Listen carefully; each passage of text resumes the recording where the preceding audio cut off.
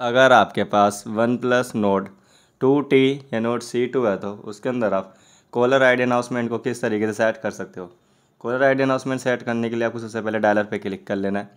Three dot पे click करने के बाद आपको सेटिंग पे क्लिक कर देना है। जैसे सेटिंग पे क्लिक करोगे, नीचे जाने के बाद आपको यहाँ पर कॉलर आई डी अनाउंसमेंट का ऑप्शन होगा, इस पर टैप कर देना है। अनाउंसमेंट कॉलर आई डी पर टैप कर लेना है। उसके बाद आपको यहाँ पर तीन ऑप्शन शो होंगे, एक होता है ऑलवेज।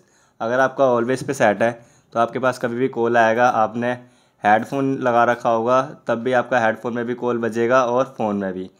अगर आपको इस पर दूसरे वाले ऑप्शन पे सिलेक्ट कर दोगे, अगर आपने हेडफोन लगा रखा है तो खाली आपका हेडफोन पे शो होगा कि आपका कॉल आ रहा है। डिवाइस में आपका कोई भी शो नहीं होगा। अगर आपको इसे नेवर करना है तो नेवर भी कर सकते हो। इस तरीके से आप अपने फ़ोन में अनाउंसमेंट कॉलर आईडी को सेट कर सकते हो। अगर वीडियो अच्छी लगी तो वीडियो को लाइक शेयर सब्सक्राइब करें।